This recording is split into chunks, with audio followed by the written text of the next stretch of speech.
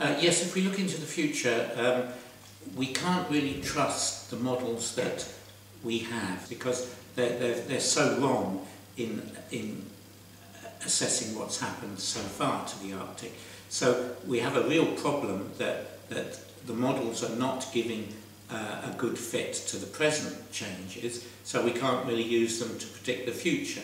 Uh, what's missing are certain physical processes that, that obviously are important but aren't included in models, and that there's lots of possibilities there, including the effect of waves on the ice. So if you have a snow cover uh, or an, a sea ice cover that's got snow on it, that reflects something like 80% of the solar radiation that falls on it. That's reflected straight back out into space. Whereas if there is, you have open water where the ice has melted, or if you have bare land or tundra, that only reflects back about 10%. So you're changing from uh, a surface which is reflecting 80% of the radiation to a surface that's only reflecting 10% and 90% is being absorbed. So that's, that change is, uh, means a big increase in the amount of absorbed radiation uh, at the surface, and that is an acceleration to global warming. Two big effects of permafrost, and they, they both lead to more methane release. Methane is a very powerful greenhouse gas. It's per molecule, it's over 20 times as powerful as carbon dioxide.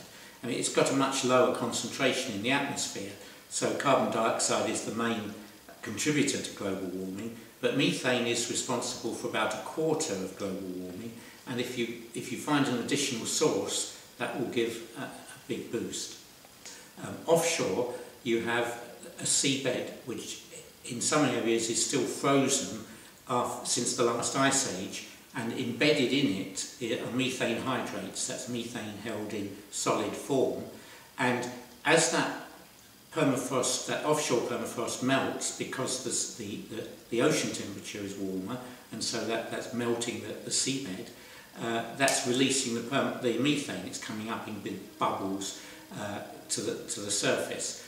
But then on land, you also have an increase in methane release because the, the permafrost on land is also melting and becoming uh, the, the layer that becomes uh, water during the summer is getting thicker and that layer produces methane because it's just really like a, a, a big bog. Uh, and so the amount of methane release from, from uh, tundra on land is increasing as well. That, that will last longer.